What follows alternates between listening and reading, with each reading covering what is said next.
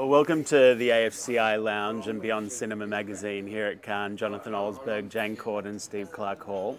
Um, so we've got a former producer who's now a consultant, a consultant and a current producer. Um, this, in this changing face of filmmaking and this kind of weirdly, uh, you know, the, the state of flux with incentives, and it seems to be a, uh, an ongoing competition to provide the best, the cheapest, um, a couple of questions. Is the cheapest necessarily the best? And what are the key components that you're now finding uh, have, have, have made the, the people who are actually succeeding succeed? And by people, you mean the actual countries that are hauling everybody in.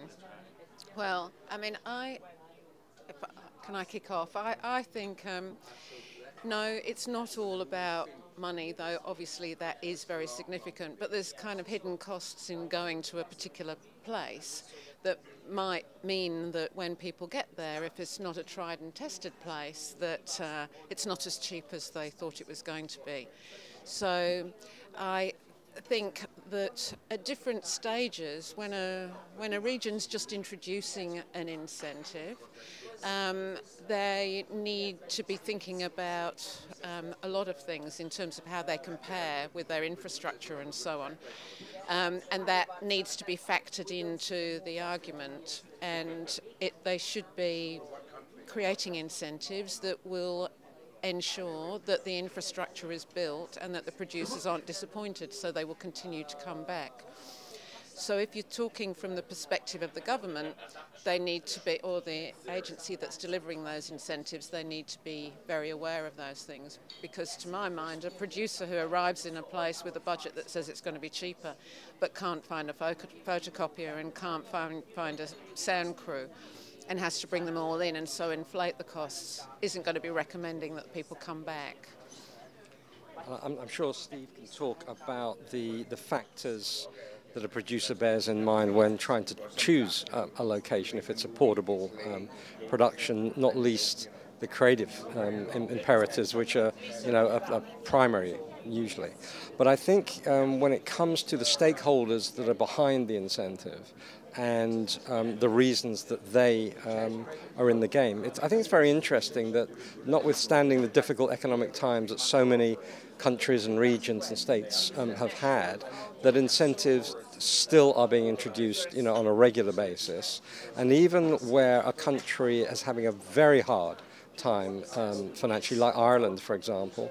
You know, when Ireland, um, when the government of Ireland or the Treasury ne needed to find places to save money, they shone a, a, very strong searchlight on the tax incentive that they had in Ireland, expecting to, to decide to cut it because they needed to save money. In fact, what they didn't not only did they not cut it when they investigated it, they actually extended it because it works. And I think um, what we're seeing in this sort of this blossoming of incentives around the world, even though it might appear to be strange that with all this competition going on, the fact is um, attracting production and the ongoing benefits culturally, economically, and socially from that happening um, are very, very real, and that's why it's still going on. How rare is that, though, that, that a country chooses to find to, to focus on the arts as an impetus to growth, as opposed to uh, you know the first thing you cut when things get tough? Well, it's it's not rare at all um, because many countries have recognised that the creative economy, as as um, our industry in film is is lumped together with with others, um, you know, in a definition, the creative economy in many um, countries is growing faster than many other sectors, um, is withstanding the buffeting of um, you know global financial crisis better than others. And you know even though in any budget, you know, a finance minister will always prioritize, you know, health and education and welfare and pensions. Um, when it comes to other things, and there's a choice to be made, we're finding that there are lots and lots of strong arguments that can be made um, to support this kind of activity. They're not always made um, that effectively um, because some of the benefits are quite subtle, and, and, and, our firm is, you know, that's kind of what we do, if, if you like. Um, but I, you know, it's not an accident that new countries all the time are announcing incentives because they, there, there are valid reasons to do so. Steve, what, what has been, I mean, obviously you've been in the Guy Ritchie business for a while as well, but, um, and, you know, obviously, you know, he prefers to shoot where possible, first and foremost, probably in the UK. But what is, what factors have been the ones to take you elsewhere? What criteria have been the ones that have been worth moving for? Yeah, not really the UK, more Marble Arch. um, um, the UK tax credit is, I think, probably the, um, in my experience, the best tax credit that there is in terms, uh, from a producer's point of view, for two reasons. One is the the way it works in terms of attracting inward investment into the UK, which is that um, all money you spend in the UK qualifies for the tax credit. And secondly, that it is uh, relatively simple to um, to get the funds. Um, you, you, do the audit, you get it passed, and the the, the funds come in. Um, the way you structure various productions um, also works well with the UK tax credit.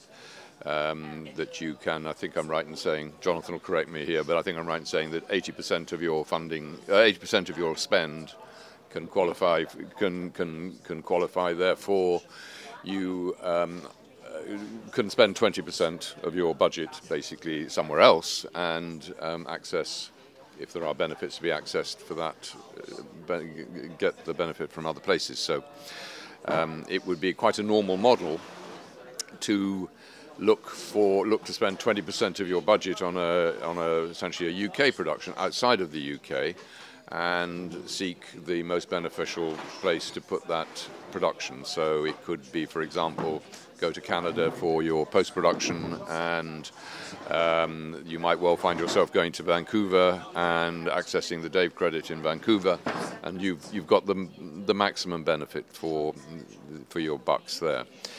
The other um, issue, though, I mean, leaving aside major studio productions um, that might well want to shoot lots in the UK, the, it is really important for a producer when they are trying to do the evaluation not to take things at face value.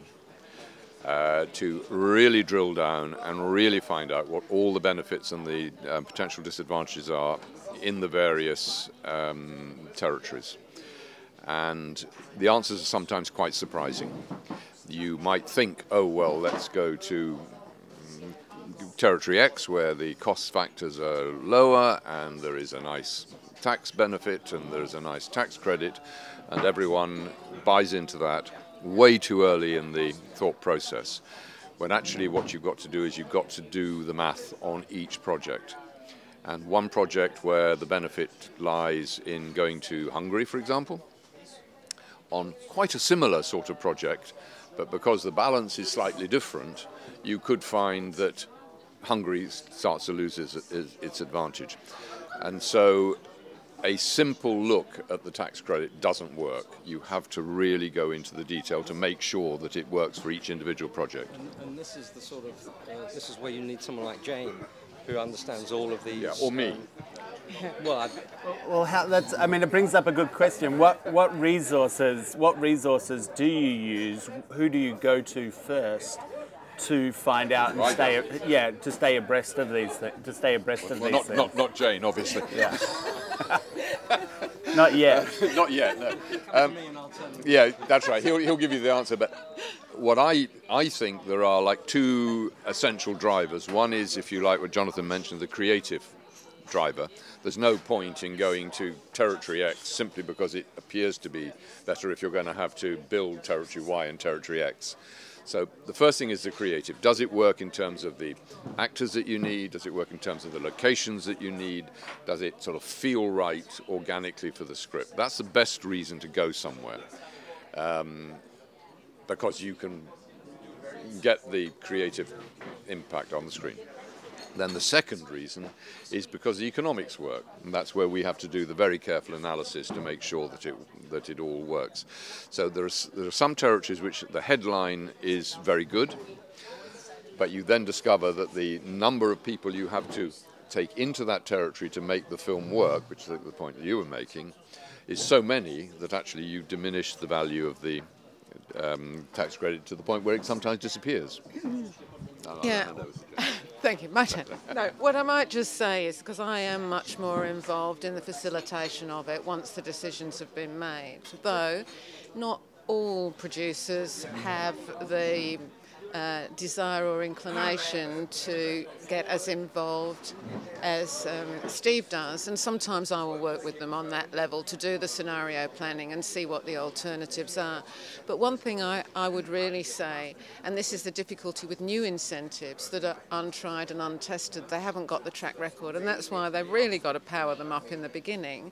But powering it up is not just about money, it's about making sure that the administrators understand the film industry and are able to properly administer it. And I have had that experience in countries that have just introduced it. They pass their act through Parliament and ever. They say, here we have, we've got this incentive. And then the, the, government don't understand it, and there they are, and people come along, and it doesn't happen.